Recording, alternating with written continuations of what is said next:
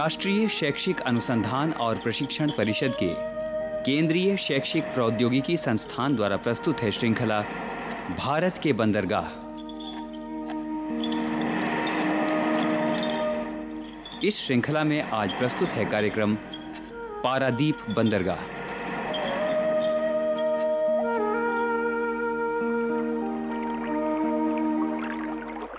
नटखट और चंचल सोनू के उत्साह और उत्सुकता की कोई सीमा नहीं है। वो अपने चाचा कैप्टन अशोक के साथ, जो मर्चेंट नेवी में कप्तान है, समुद्री यात्रा पर है। उनका जहाज़ विशाखापट्टनम तट होते हुए कोलकाता की ओर बढ़ रहा है।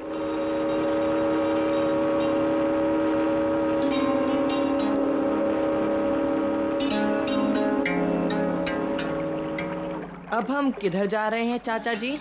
बेटा सोनू अब हमारा जहाज़ उड़ीसा राज्य के तट पर पहुँचने वाला है। अच्छा। जानते हो उड़ीसा को पहले उत्कल भी कहा जाता था। क्या? उत्कल। अच्छा। बोल के बताओ। उत्कल। हाँ। हम्म। तो उड़ीसा के तट पर गोपालपुर चांदबाली और पारादीप बंदरगाह हैं। अच्छा। गोपालपुर कुछ वर्ष पहले उड़ीसा का मुख्य पोर्ट था। ओ। लेकिन पारादीप के बनने के बाद गोपालपुर का महत्व कम हो गया। अच्छा। और चांदबाली बंदरगाह वैतरणी नदी के मुहाने पर बना है। हम्म। कोलकाता और उड़ीसा के व्यापार में इसकी मुख्य भूमिका रहती थी। ओ उड़ीसा मैंने टीवी में जगन्नाथ जी की रथ यात्रा देखी है। चाचा जी उस रथ को तो हज़ारों लोग खींचते हैं। हाँ बेटा हाँ। फिर तो तुम ये भी जानते होगे कि ये उत्सव उड़ीसा के पुरी नगर में मनाया जाता है। पुरी में भगवान जगन्नाथ जी का बहुत बड़ा मंदिर है। अच्छा। हाँ और इस मंदिर में भगवान जगन्नाथ जी के दर्शन करने के लिए लाखों श्रद्धालु आते हैं।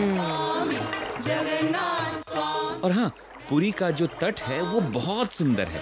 अरे वाह। हाँ यहाँ पे समुद्र के तट पर शाम तो देखने लायक होती है। फिर तो हमें पूरी भी देखना चाहिए। हाँ बेटा अगर समय मिला तो हम पूरी भी ज़रूर देखेंगे। अच्छा चाचा जी मैंने पढ़ा था कि उड़ीसा के तट पर एक और नगर है अ, कटक। हाँ हाँ हाँ हाँ सोनू तुमने बिल्कुल ठीक कहा। अरे मैं भी कैसा हूँ एकदम भूल गया। देखो बेटा कटक उड़ीसा के तट पर एक मुख्य नगर है। अच्छा। हम्म यहाँ का पोर्ट पहले बहुत प्रसिद्ध था। कटक का पोर्ट महानदी के मुहाने पर बना हुआ है। अच्छा अच्छा। और महानदी उड़ीसा की सबसे बड़ी नदी है। यहाँ से इंडोनेशिया मलेशिया और दक्षिण पूर्व एशिया के देशों को लोग जाते थे। विदेशों से व्यापार भी होता था। होता था मतलब चाचा जी अब नहीं होता क्या? नहीं बेटा अब पारादीप जो बन गया है।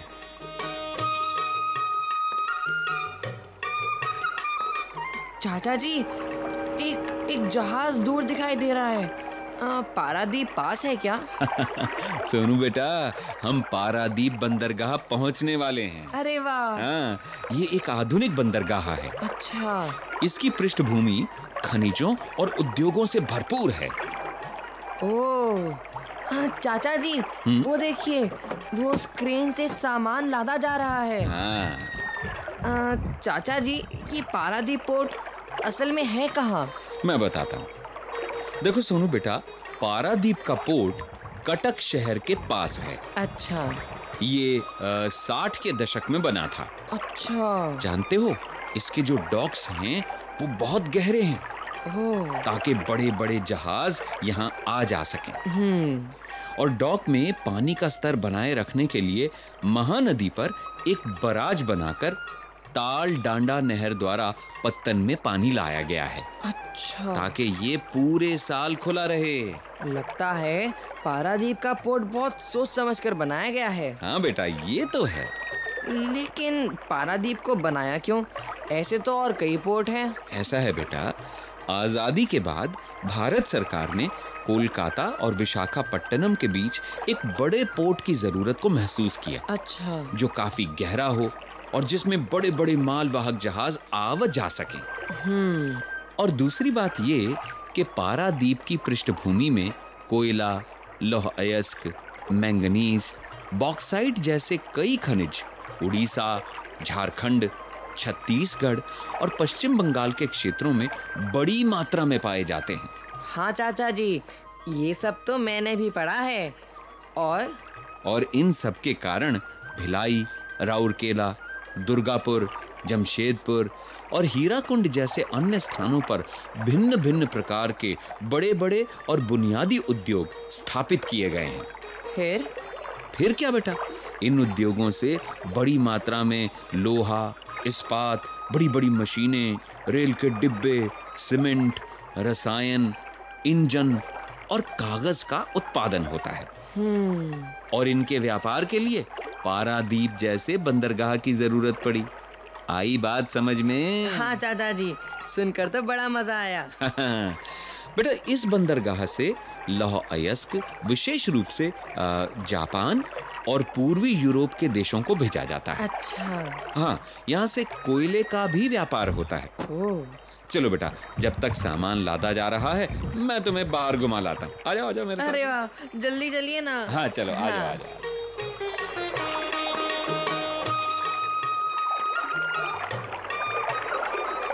सोनू और कैप्टन अशोक बंदरगाह से बाहर निकलकर बीच पर आ गए हैं। समुद्र की रेत पर चलते हुए सोनू को बहुत मज़ा आ रहा है।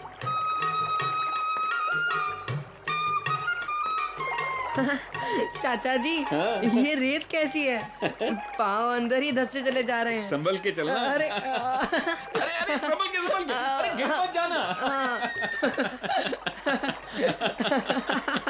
अच्छा आओ। अ, मैं तुम्हें एक एक मज़ेदार दृश्य और दिखाता हूँ। हाँ यहाँ पे आओ यहाँ पे आओ। अरे। ये देखो। चाचा जी ये लोग तो रेत से मूर्तियाँ बना रहे हैं। हाँ बेटा उड़ीसा के तट चौड़े और रेतीले हैं।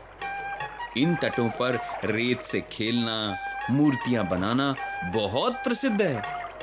यहाँ तो आपस में मूर्ति निर्माण की प्रतियोगिताएँ भी होती हैं। और फिर सबसे अच्छे मूर्तिकार को पुरस्कार दिया जाता है। चाचा जी मैं भी मूर्ति बनाकर देखूँ। अरे बना लेना बना लेना बाद में बना लेना। आगे चलें? क्या चाचा जी अच्छा आओ ना नाराज़ क्यों हो रहे हो?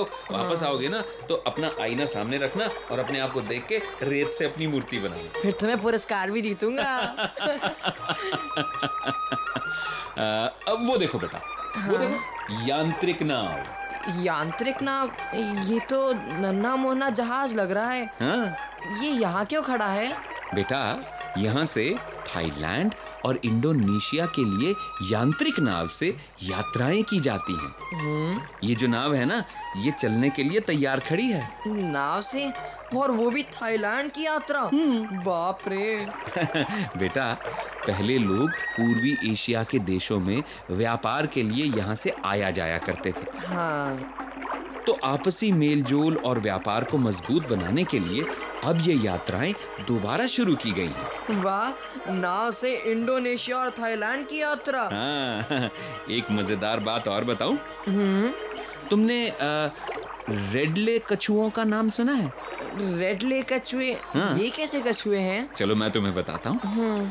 देखो पारादीप बंदरगाह के तट के पास रेडले कछुए अंडे देने आते हैं। अच्छा। हम्म ये कछुए आकार में बड़े होते हैं। हो दुनिया भर में सिर्फ़ एक या दो जगह और हैं जहाँ ये कछुए तटीय रेत में अंडे देते हैं।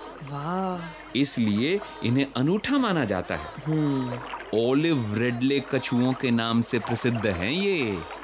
हम्म बताओ मैंने क्या नाम बताया? Olive ridley. हम्म ओलिव रेडले कछुए। ऑलिव रेडले कछुए पर चाचा जी मैं इन्हें कब देख पाऊँगा?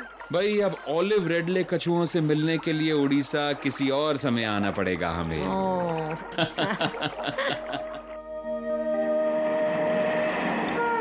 कैप्टन अशोक और सोनू कछुओं की बात करते करते वापस बंदरगाह की ओर आते हैं।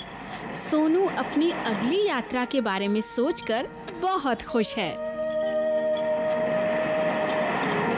पारादीप बंदरगाह। अभी आप सुन रहे थे ये कार्यक्रम। विषय परामर्श, अख्तर हुसैन। विषय संयोजन, डॉक्टर माधवी कुमार।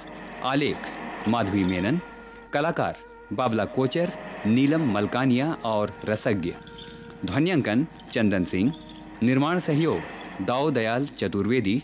तथा निर्माण एवं प्रस्तुति, अजीत होरो।